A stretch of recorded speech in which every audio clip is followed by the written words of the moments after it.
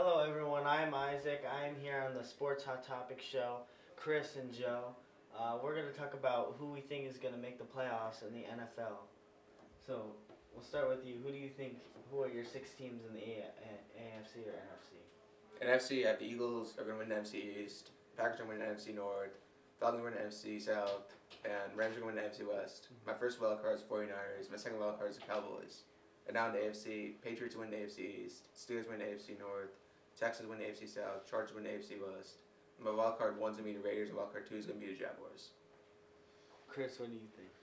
Well, in the AFC East, New England's obviously going to win. In the AFC North, I think it's pretty clear Pittsburgh has the upper hand, so I'm going with those two in their division. AFC South, I like Houston. Deshaun Watson's healthy, J.J. Watt's healthy, Jackson was a whole quarterback. Indianapolis, even with Andrew Luck healthy, has a bad roster. And then you have the AFC West. The Chargers have the most complete team. I go with them to win the division. And the wild cards, I go the Chiefs and I go the Raiders. And the NFC side, Philly, the Super Bowl champs, stay on top in the NFC East. Vikings with Kirk Cousins able to beat out Aaron Rodgers for the NFC North. Falcons are going NFC South. NFC West, I'm going to go with the best offense in football this year, the Rams. And then wildcard team, I'm going to go with the Saints and the Packers simply because of Aaron Rodgers. So, do you have any? What do you What do you think about his? Mm. You're not a believer in Jimmy G yet?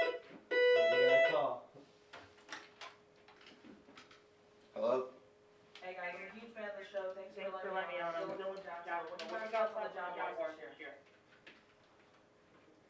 Can you repeat? What do you think? What do you think about the Jaguars? Um, I think they have a great defense, but I'm just not so sure about Blake Bortles. He's too inconsistent. So. They also got a first place schedule this year. Yeah. And Luck's coming back. Deshaun Watson's coming back. Tennessee's got new coaching. I mean, I think I don't think they'll be bad, but I don't think they win that division with the weakest quarterback in the AFC South. Do you Do you think they make make the the playoffs? playoffs? I have them as a second wild card. I have them just missing out. I think they're an 8 8 9 17. Okay, thank you for, thank you for the call. So what are you saying about Jimmy G? You're not a believer in Jimmy G yet? Look here. Ru- Here's the name of the Niners. They were a rebuilding team that a franchise quarterback handed to them. They were one and nine. They were a rebuild. Garoppolo comes around. They won five. in a row. Five straight games, yeah. But they still have no running game. They don't really have good, good offense weapons. Their defense, talented, pretty young, not in elite defense yet. And their O line's good. They have a couple really good tackles in Joe Staley in the first round and Mike McGlinchey. But they're still building that roster. I don't think they can. In the AFC, I'd have them as a playoff team. But Garoppolo's not going to be able to carry them past rosters like Atlanta, New Orleans, and Green Bay. Hmm. Alright, so our next one. Where do you think LeBron's going to land, guys? I'm going Lakers. If you haven't heard, his son has committed to playing at high school in LA. I don't think he's going to be playing in LA and have his dad play in Houston. And also, business decision. He's got companies out there. He's got a home out there. I think he's starting to be, look towards the end of his career. And he could bring Paul George there. They have Lonzo Ball there. I think they would probably potentially get to the Western Conference Finals. Maybe. I mean, I think he also doesn't want to lose the conference finals. If he goes to the West, he won't lose the, the NBA Finals because he'll either beat Golden State or he'll lose to them and won't ruin his finals record.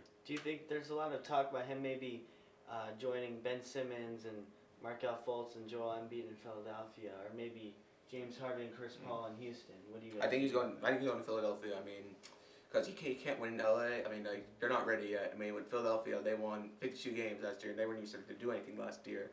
Now we'll see Fultz play. I don't think he's a bust yet because Simmons is his first year, and Lucas Tim's now his future MVP. So he's Simmons and Embiid and Redick, if, if assuming he resigns. So I think Philly would be the best choice. If they get him, I think they're winning the finals next year. I mean, the issue is his son is going to high school in LA. He's got businesses in LA. Even if he goes to Philadelphia, they're not beating Golden State. They are not gonna. They they would win the East, no problem. But and being Simmons are still young. They're not beating Draymond. They're not beating Durant. They're not beating Curry, Steve Kerr, and Klay Thompson. That's too deep a roster in Golden State. It would just be another finals loss for LeBron. Do you guys think you don't think there's any shot he can beat the Warriors with any of these teams? I think I- with Philly, with Philly, he I think if he went to Houston, now I now I don't think he's going to LA because of this report coming out, and they're also the favorite.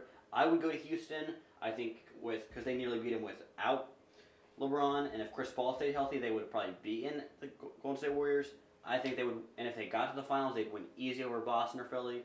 They would win the finals easy, in my opinion, if he got to, if he went to Houston. All, the only challenge would be Golden State. All right. Um, thanks everyone. This is Isaac with Chris and Joe on the Sports Hot Topics Show. Thanks for listening.